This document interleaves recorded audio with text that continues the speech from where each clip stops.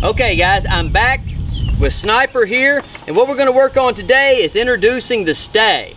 All right, so I'm gonna go back and I'm gonna get my English show lead out, and I'm gonna go to put it on him, P for perfect puppy. I'm gonna put it on his neck here, cinch it up so that's on his neck right below his ears, okay?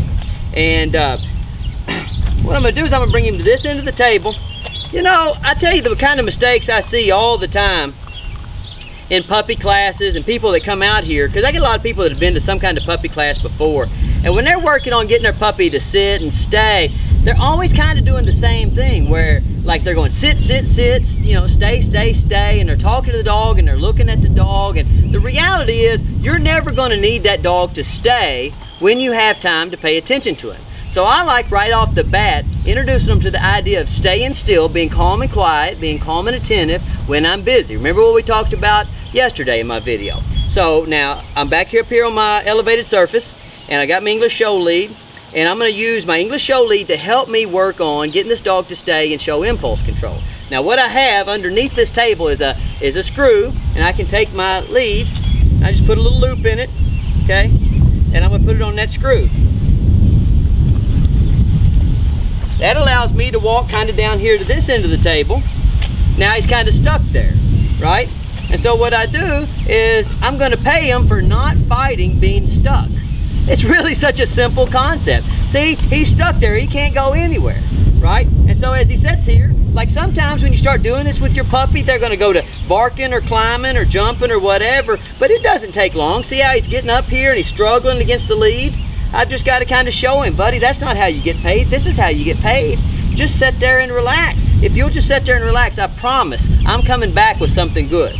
Now, the key here is to kind of keep track. Use your cell phone, use an egg timer, whatever you have to do. On At the very first, you're just going to be giving him a lot of treats.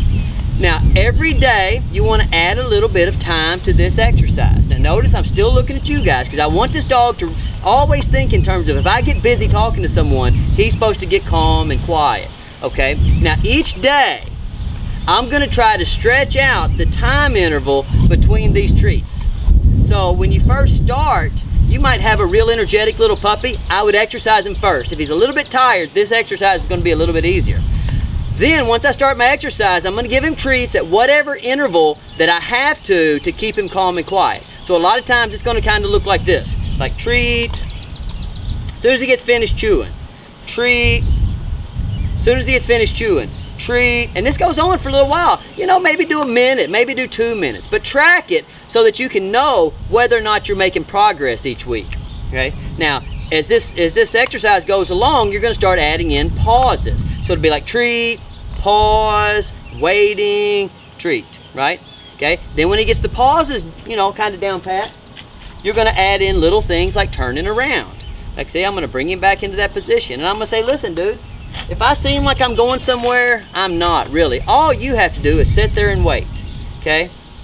And I do this all the time. Now, you do not need to do this on an elevated surface. I only use this elevated surface because I have so many dogs here. I don't want to bend down all the time. And also because it's easy to film. But when I'm not filming, I have these little show leads on these dogs. I have it wrapped around my neck. And I'll be walking all over my property or all over my neighbor's property. Got my, got my treat bag on, I got my long line on them, I got my short line on them, whatever I have for that particular puppy. And I randomly throughout the day just time to stuff and I walk away from them and I bring them back a treat. I walk away from them to let them know that sometimes we're going to be out in the real world and I'm not going to be able to pay focused attention to them, right? And that's not, it's not a big deal. All they have to do is wait patiently while I'm paying attention to whatever it is that I'm paying attention, okay? And see, over the course of time, if you do this, this really takes a lot of the force out of dog training later. Because this puppy, all he knows is that Stonnie's liable to have to do something, but he'll always come back. I really want to build trust. Might go over here and give Floyd some treats. Oh, good boy, Floyd. Now, see, look, that dog, if I would have told him to stay, he would have got up and left. But since I had him tethered here on my training table, or uh, to a park bench, or to uh, my doorknob, whatever it is, he had to wait. He had to make the best decision. I've managed him into making the best decision. And that's what we're always trying to do. We're trying to manage the dog, manage his energy level, manage his attention span, manage him in such a way that he understands that just waiting and being patient is always going to lead to getting what he wants. So I can walk completely off the camera. He's, you know, naturally he would think he needs to get up and follow me, but he didn't have to, you know, because I came back. Now, he would have never known that I was going to come back if I hadn't been using this tether. So this tether, it really builds patience, really builds trust, and it also makes dogs easy to take places from the time they're little bitty puppies. You know, this dog's maybe, I don't know, 13, 14 weeks old.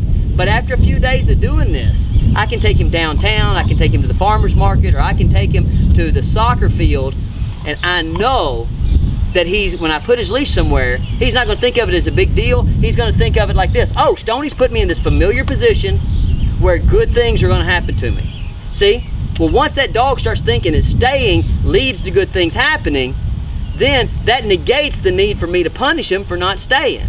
So think think like that. Think in terms of being proactive, managing your dogs correctly, setting them up so that they can't make mistakes, and you're well on your way to having a dog that'll come and be still and have good manners under distraction. You know? Okay. All right. See you guys tomorrow.